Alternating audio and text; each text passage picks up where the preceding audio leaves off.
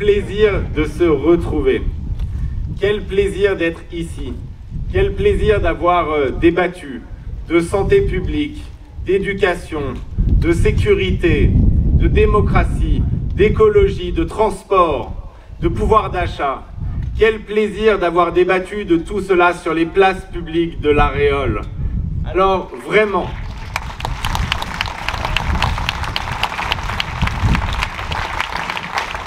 vraiment un immense merci à Sandrine, à toutes les bénévoles, tous les bénévoles qui ont rendu ces journées possibles. Cette organisation qui repose sur votre dévouement, votre mobilisation, votre courage, votre acharnement. Cette organisation fut parfaite et nous avons pu ensemble nous élever collectivement. Alors, nous sommes pleins de gratitude au moment où ces journées vont prendre fin. Plein de gratitude pour l'enthousiasme et aussi pour le sourire que vous avez mis à l'œuvre. Applaudissez-vous.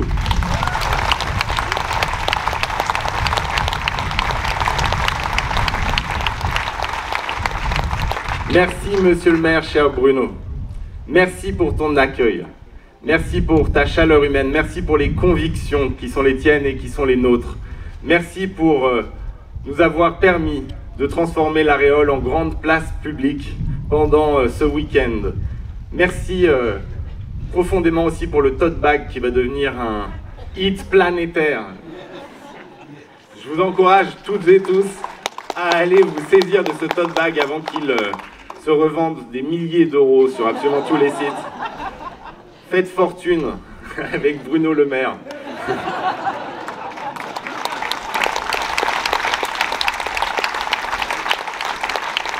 Merci à tous les élus locaux qui euh, nous ont accompagnés, qui nous ont accueillis.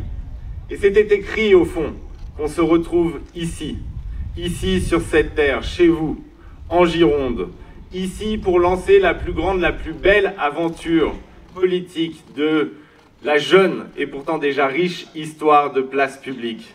L'aventure politique qui doit nous mener au pouvoir. Oui, au pouvoir dans notre pays, en France. Et oui, c'est ici, et nulle part ailleurs, que nous devions lancer cette aventure. Ici, en Gironde, car nous sommes fondamentalement, viscéralement, un parti girondin.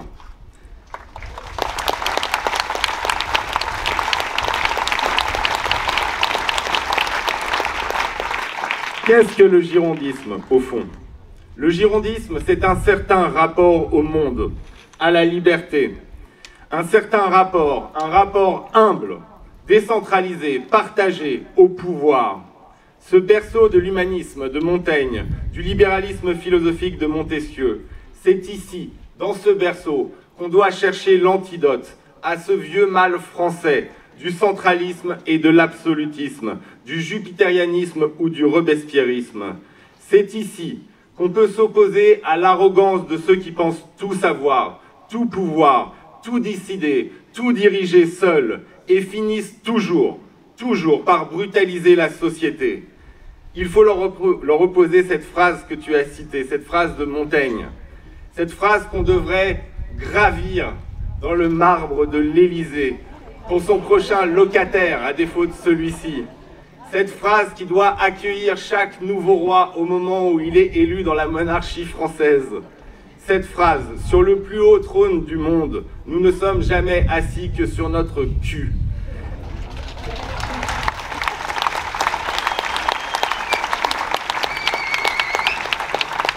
Le girondisme, c'est la croyance qu'une nation n'a pas besoin de père, que les citoyens peuvent vivre sans maître, que la grande, la belle, l'immense révolution française n'était pas un changement de roi, ou n'était pas le remplacement d'un Dieu par un autre, mais l'affirmation qu'une société libre peut se gouverner elle-même et que les citoyens sont des adultes qui n'ont pas besoin d'être guidés pour savoir marcher.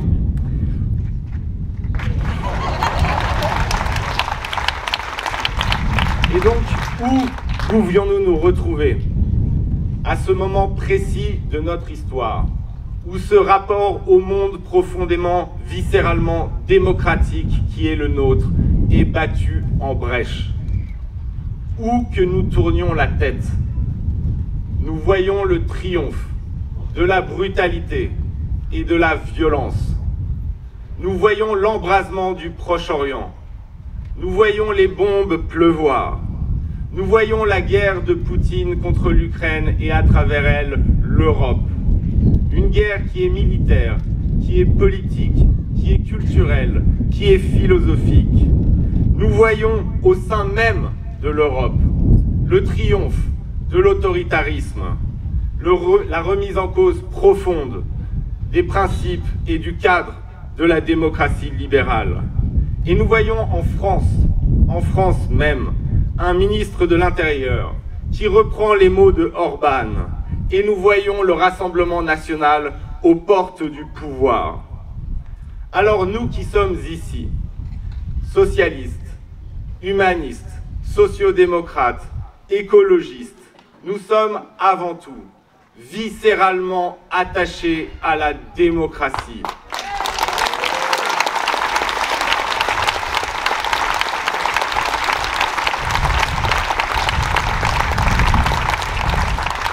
Nous savons que la démocratie, ce n'est pas simplement un régime institutionnel, des élections tous les cinq ans. C'est un régime de solidarité. C'est une manière d'être et d'habiter le monde. C'est une manière d'interagir entre humains. Et cette démocratie, elle n'est pas naturelle, elle est artificielle. Elle est une construction idéologique, politique, historique, une construction qui se délite si on ne la cultive pas et si on se laisse aller à tous les penchants, à toutes les passions démagogiques. La démocratie, c'est une œuvre collective, un héritage que l'on doit sans cesse continuer, sinon il s'efface. Alors cette démocratie française, elle est fragile, elle est même malade. J'aimerais revenir avec vous sur la séquence qui vient de s'écouler. Le 9 juin, un président de la République que le système institutionnel rend tout puissant, s'adonnant à son narcissisme, a décidé de casser le jouet qui était le sien. Et ce jouet, c'est la démocratie française. Ce président, le 9 juin, seul a pris la décision insensée de dissoudre l'Assemblée nationale et d'ouvrir les portes du pouvoir à l'extrême droite. Il a fallu alors prendre des décisions difficiles, des décisions politiques qui pouvaient nous coûter. Ces décisions, elles furent prises parce qu'il faut savoir hiérarchiser les périls et que le péril principal, le péril essentiel, c'était l'arrivée au pouvoir de l'extrême droite et le kidnapping de la République française par la famille Le Pen et M. Bardella.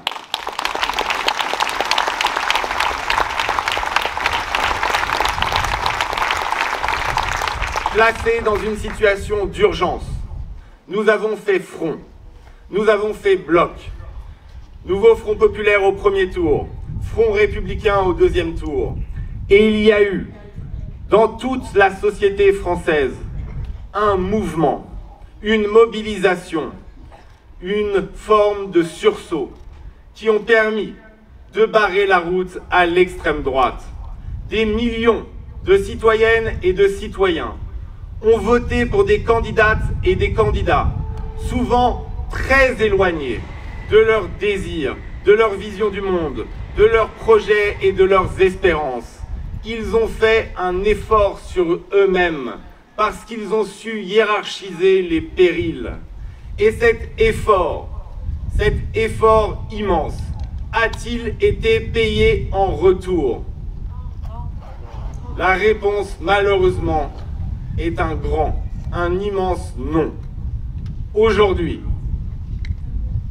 nous avons au pouvoir la seule force politique non RN, qui a rejeté le front républicain, c'est-à-dire les LR.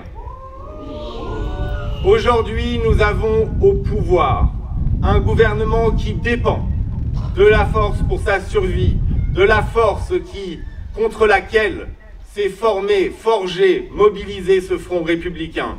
c'est-à-dire le Rassemblement national. C'est précisément l'inverse de la leçon du 7 juillet. Ce qu'il faut rappeler, c'est qu'il y a bien eu un vainqueur aux élections législatives. Ce n'est pas la gauche, ce n'est pas le centre, ce n'est pas la droite. Le vainqueur du 7 juillet, c'est le Front républicain. C'est le rejet du Rassemblement national.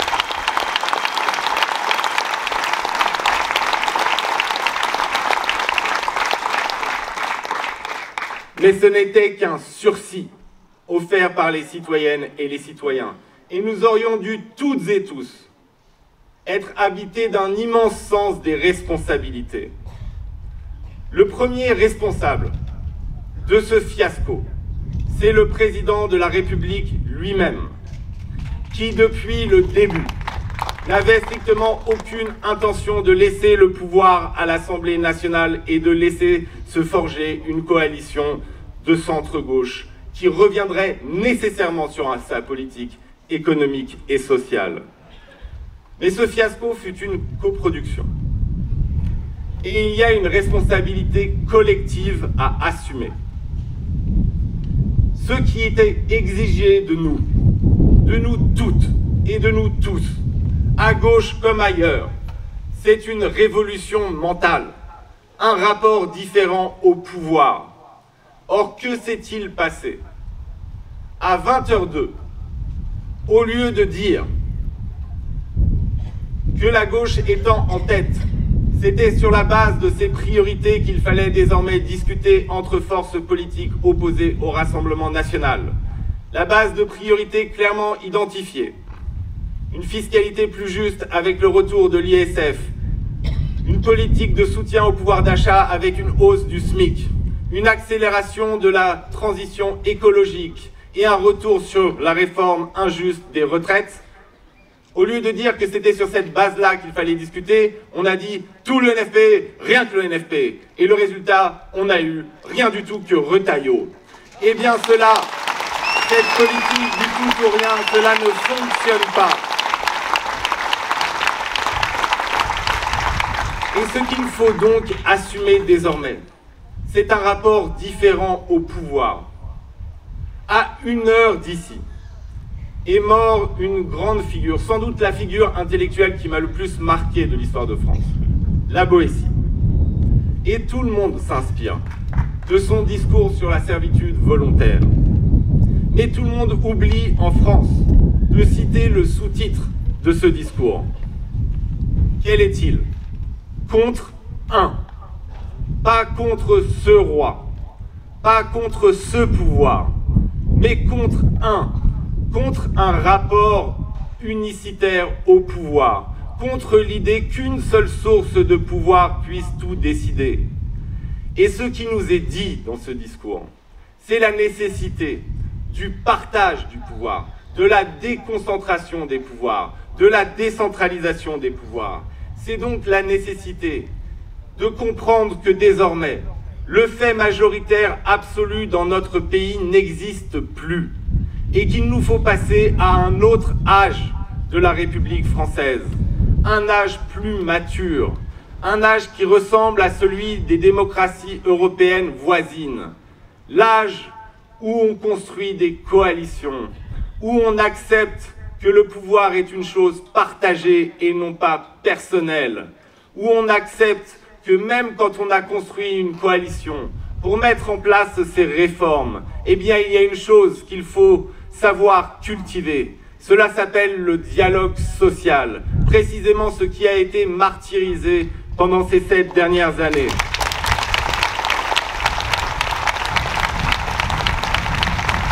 Alors nous, la première chose que nous voulons faire, c'est renforcer, changer, transformer, faire grandir, cultiver, défendre, faire progresser la démocratie française. Cela commence d'abord par une chose simple qui peut réunir une majorité dans les jours qui viennent. Le changement du mode de scrutin et le passage à la proportionnelle dans notre pays.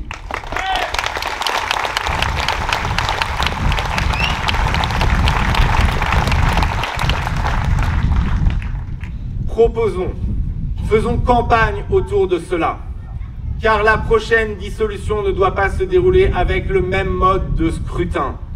La proportionnelle, c'est la garantie que chaque formation politique, chaque famille politique puisse présenter une offre puissante et cohérente aux citoyennes et aux citoyens. Et c'est aussi l'obligation ensuite de se placer d'emblée dans une perspective de coalition. Une coalition, ce n'est pas des euh, consensus mous sur tout, c'est un rapport de force qui est dicté par le résultat des élections. Mais cela nous obligera dès le début à être clairs sur ce que nous sommes et ce que nous voulons, et ensuite à se placer dans cette logique du dialogue, sans être accusé de trahison. Parler, ce n'est pas trahir. Discuter, ce n'est pas trahir. C'est au contraire construire. Et la démocratie française a besoin plus que jamais de co-construction.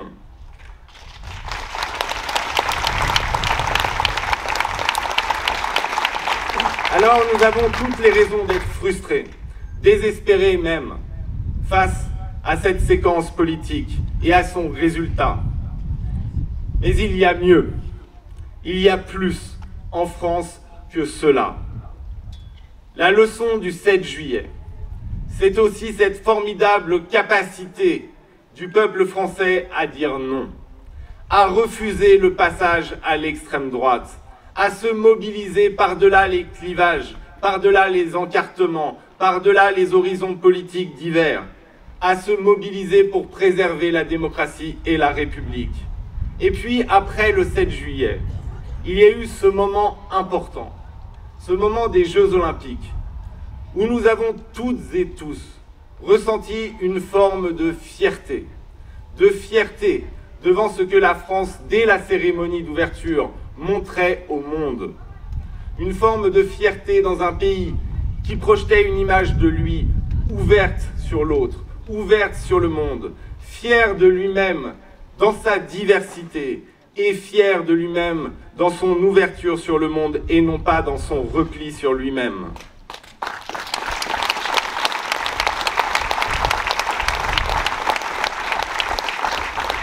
Alors il y a une attente une attente et une demande. Il y a une part de France immense qui ne demande qu'à se mobiliser. Et nous, comme tu l'as dit Aurore, nous avons un plan à lui proposer. Ce plan, c'est de travailler avec acharnement à l'éclosion d'un mouvement puissant, à la construction d'un grand projet social, démocratique, écologique pour le pays. C'est la structuration d'abord de notre parti, place publique. Et au-delà de place publique, la structuration d'une offre politique cohérente et puissante plus large que notre parti. Et la bonne nouvelle, c'est que nous ne partons pas de rien. Nous avons commencé aux européennes. Nous avons commencé et ce n'était qu'un début. Pourquoi notre campagne aux européennes a-t-elle fonctionné? D'abord parce que nous avons travaillé pendant un an sur un projet européen cohérent et puissant et que rien ne remplacera jamais le travail. Ensuite, parce que nous avons proposé, présenté, dès octobre 2022, un cap clair. Bon, vous avez la ref? Un cap clair. Et que nous avons pu, grâce à ce cap, grâce à ce projet, susciter un enthousiasme, susciter une adhésion. Souvenons-nous de notre fierté au moment de militer pendant toute cette campagne, de notre bonheur à nous retrouver. Nous avons réussi à susciter ce qui pour moi est essentiel, fondamental, vital, un vote heureux. Un moment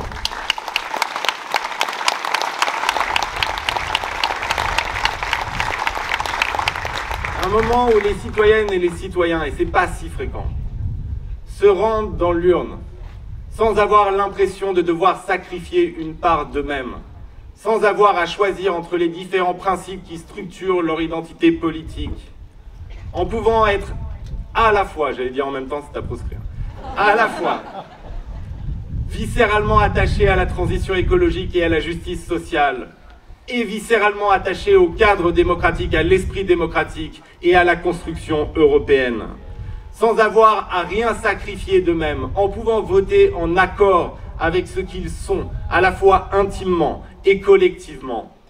Et c'est cela la politique. C'est cela la politique telle qu'on aspire à la faire. Parce que le vote de responsabilité, qui est essentiel, le vote de responsabilité pour barrer la route au Rassemblement national ne suffira pas. Les fronts républicains, c'est des fusils à un coup. Et honnêtement, aucune personne ici ne sait si ça marchera la prochaine fois.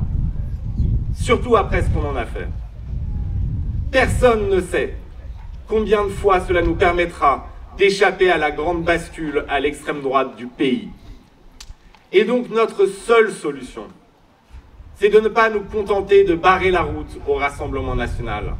C'est d'offrir un autre chemin, un autre récit, un autre projet, une autre définition de ce qu'est notre pays, une autre réponse aux angoisses qui le tenaillent, une réponse plus forte, un projet plus enthousiasmant, un récit qui nous rende plus fiers que le leur.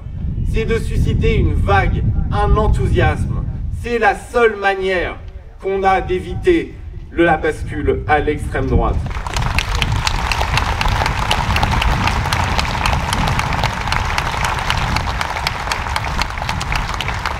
Alors, ce que nous voulons faire, eh bien, c'est de faire pour la France ce que nous avons fait pour l'Europe.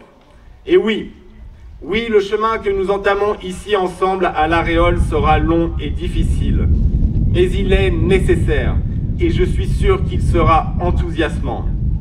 Notre objectif est simple, redonner à ce pays ce qu'il mérite, un projet et un récit à la hauteur de son histoire. Alors notre message doit être simple, où que vous soyez, qui que vous soyez, quels qu'aient été vos parcours politiques ou vos choix électoraux jusqu'ici, si vous croyez encore que notre nation a un mot à dire dans ce monde, si vous pensez qu'elle peut encore parler la langue universelle de la justice et de la dignité humaine, alors rejoignez-nous, venez travailler avec nous. Si vous voulez œuvrer à ce que la France redevienne une locomotive pour les droits humains sur cette terre, alors rejoignez-nous et travaillez avec nous si vous aspirez à ce que notre nation soit l'avant-garde de cette immense révolution qui est la révolution écologique, cette impérieuse œuvre de notre temps, l'immense transformation de notre monde, alors rejoignez-nous. Si vous pensez que l'écologie n'est pas une privation, mais au contraire une redécouverte de la liberté, une promesse de justice et de mieux-être, alors rejoignez-nous. Si vous pensez que l'agriculture n'est pas un obstacle à l'écologie, mais qu'au contraire les agriculteurs seront les fers de lance de cette grande transformation, alors rejoignez-nous. Si vous voulez la réindustrialisation verte, le retour des usines sur nos territoires, la capacité à produire chez nous ce que nous consommons et ce dont nous avons un besoin impérieux, alors rejoignez-nous. Si vous n'en pouvez plus de ces dirigeants sans colonne vertébrale qui baissent la tête face aux tyrans, et si vous n'en pouvez plus que l'intérêt général soit à ce point capitulard, j'allais dire, devant les intérêts particuliers, eh bien rejoignez-nous. Si vous ne supportez plus que les professeurs et les infirmières soient si mal payés et si peu considérés, quand des rentiers gagnent des millions sans rien produire, et quand la vacuité et la bêtise règnent sur les réseaux, alors rejoignez-nous. Si la brutalisation du débat public et l'abêtissement du discours politique vous révulsent ou vous tétanisent, alors rejoignez-nous. Si vous voulez une France féministe à l'avant-garde du grand combat pour l'égalité, cette égalité qui seule nous rend hommes et femmes réellement libres, alors rejoignez-nous. Rejoignez-nous et participez à l'écriture d'un grand et beau projet pour la France. Participez à l'écriture d'un récit qui nous rende collectivement fiers de la nation dont nous héritons et que nous aspirons à construire.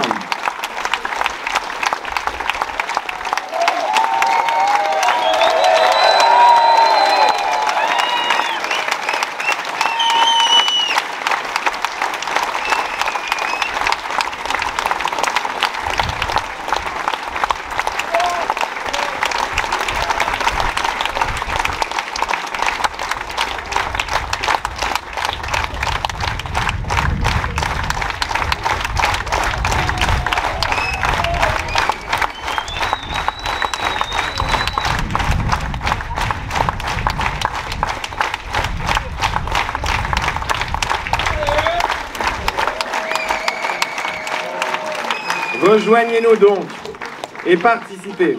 Participez à ce long travail collectif que nous nous proposons de faire. Au début de ce processus, nous devons nous faire un serment. On pourra l'appeler le serment de l'aréole.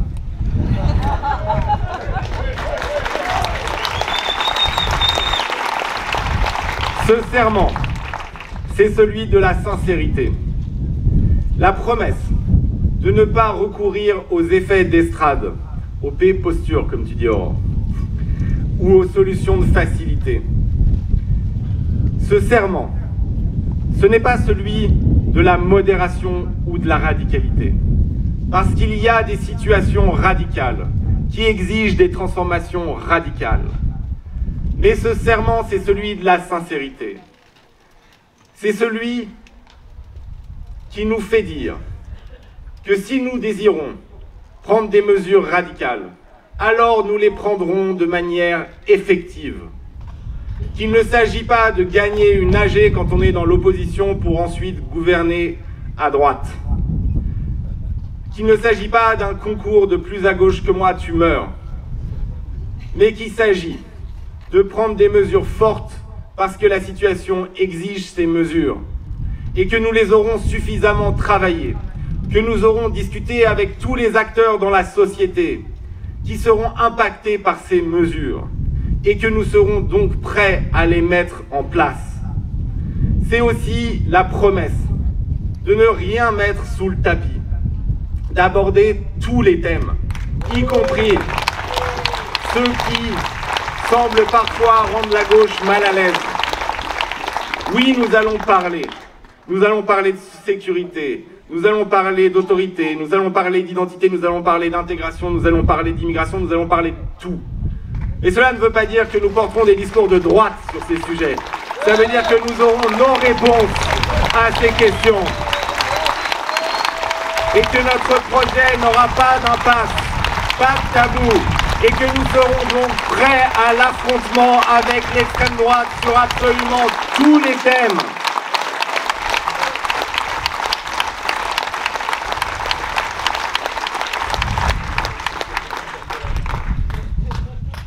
Pour porter ce projet, nous avons un parti en pleine croissance.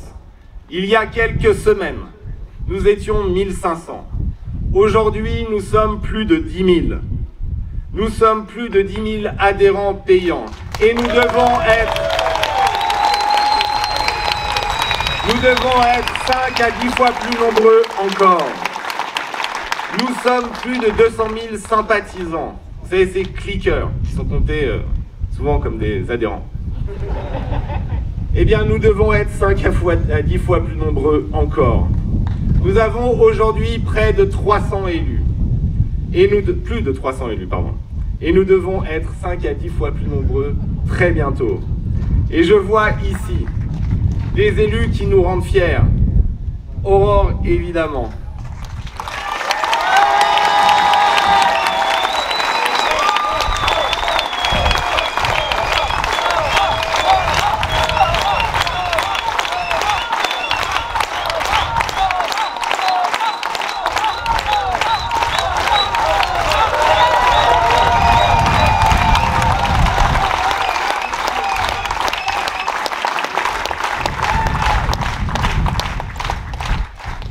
Vois Aurélien. Aurélien qui porte la voix de place publique à l'Assemblée nationale. Je te remercie infiniment de ton courage, de ton intelligence, de ton dévouement. Et nous comptons toutes et tous sur toi. Je ne le vois pas, mais il y a aussi Hervé quelque part. Hervé Guillard, où es-tu? Hervé qui est le, maire de Saint-Brieuc et qui m'impressionne chaque jour par son dévouement démocratique, sa culture démocratique, son état d'esprit d'ouverture absolue et qui vient de faire face à une agression d'une violence extrême. Hervé, tu as tout notre soutien, toute notre confiance. Mais il y a aussi Bernard Jaumier, Il y a aussi Bernard Jaumier au Sénat qui œuvre pour la santé publique, pour l'hôpital public qui va si mal. Et il y a tant d'autres élus, logos que je ne nommerai pas tous. Nous sommes un parti en pleine croissance. Mais nous n'allons pas travailler qu'entre nous. Le but n'est pas l'entre-soi. Et les choses bougent partout autour de nous. Il y avait ici, à la Réole pendant ces deux jours, des socialistes, nombreux. Et je vois ici Nicolas Meilleur-Rosignol, notre ami.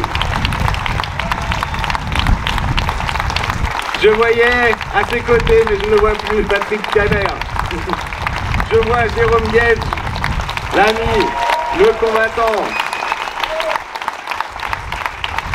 Vous avez vu entendu ici à l'Aréole Johanna Roland, Laurence Rossignol, Carole Delga, Karim Boimbra, Nadine Nago, Boris Vallot, Nora Mévarek et tant d'autres. Et il y avait aussi des écologistes comme Cécile Duflo, Yannick Jadot, Karim Adeli et d'autres. Et il y avait des gens qui ont fait des choix différents du nôtre.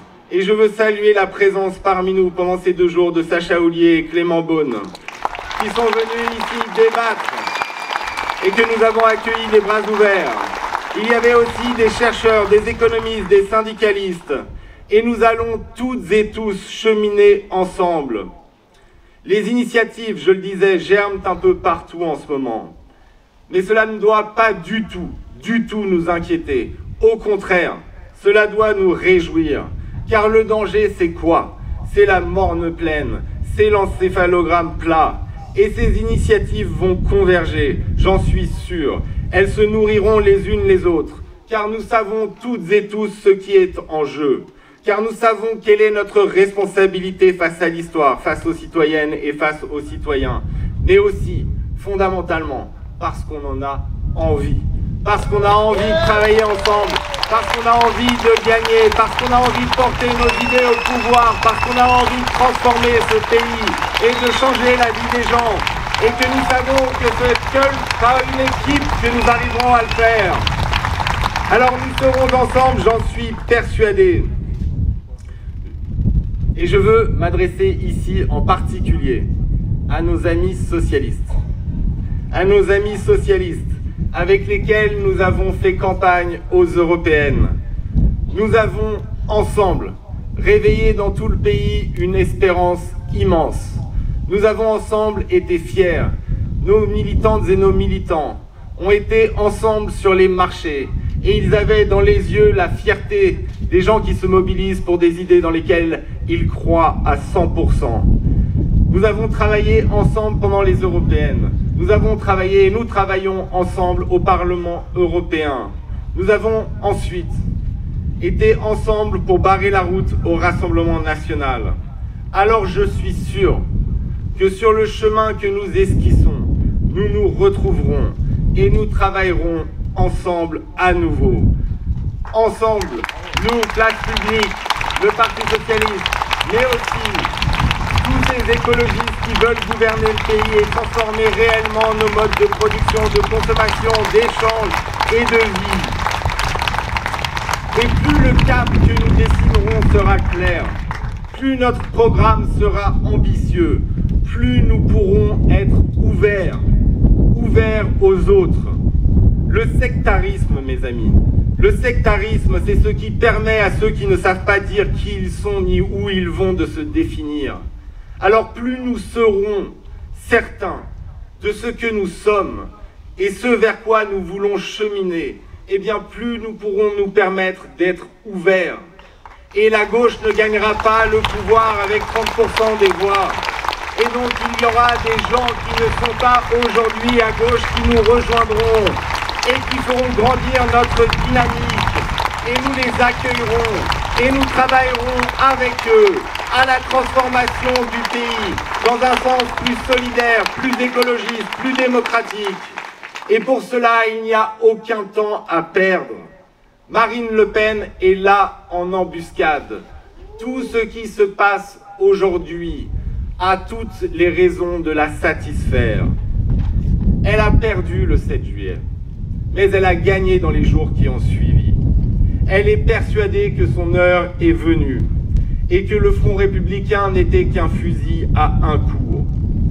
Elle est convaincue de pouvoir tirer parti, tirer profit de la bouillie politique.